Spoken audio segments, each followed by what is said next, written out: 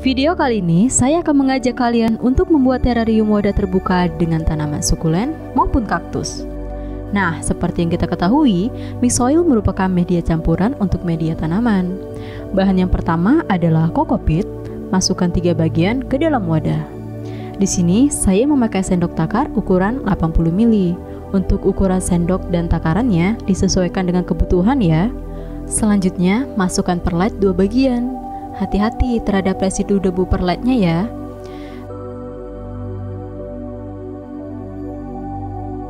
Nah, bahan selanjutnya, masukkan pasir setengah bagian.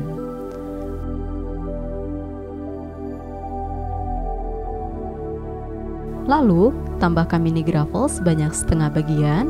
Pilih yang berukuran kecil seperti kerikil yang hancur namun masih bertekstur. Kemudian, siapkan wood chip. Hancurkan hingga berukuran kurang lebih 1-3 cm.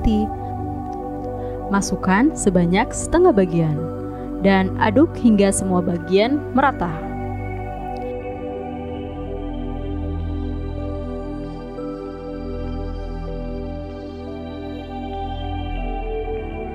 Tahap selanjutnya yaitu mempersiapkan tanaman sukulen yang akan ditanam. Pilih tanaman sesuai selera ya. Nah, berikut cara membedakannya yaitu keluarkan elemen dekorasinya seperti gravel. Keluarkan media tanaman sukulen, tekan potnya agar media tanam mudah keluar. Lalu bersihkan akar dari kotoran yang menempel, tapi sewajarnya saja.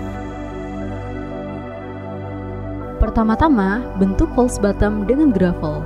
Pakai gravel ukuran sedang sampai besar ya. Jangan lupa, perlu diratakan. Lalu, siapkan fiber nest yang sudah digunting sesuai ukuran wadah dan perlu ditambahkan sedikit gravel di atasnya agar fiber nest tidak bergeser.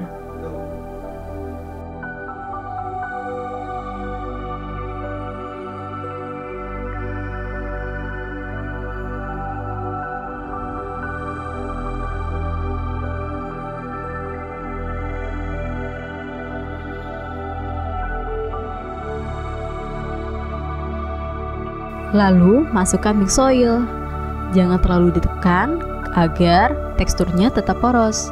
Cukup ratakan sesuai selera.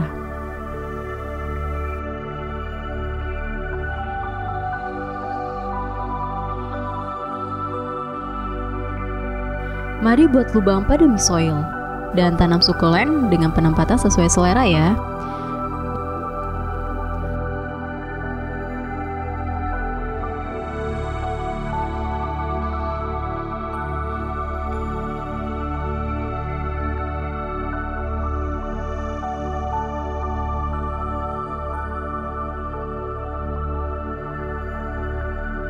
Langkah selanjutnya yaitu menghiasi permukaan terarium dengan beragam elemen seperti pasir, batu hias, ranting, bahkan small figure.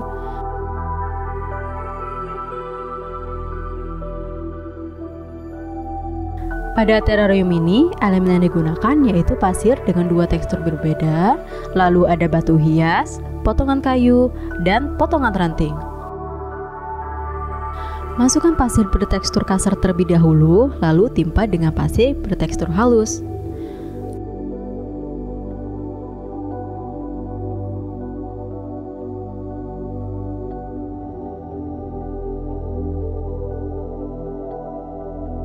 Letakkan beberapa batu hias dan potongan kayu sebagai aksen.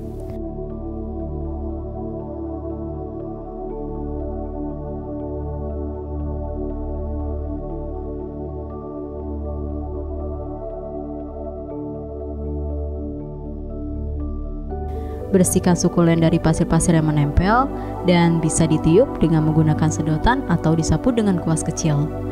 Sebagai final touch, gunakan potongan ranting untuk area kosong terarium.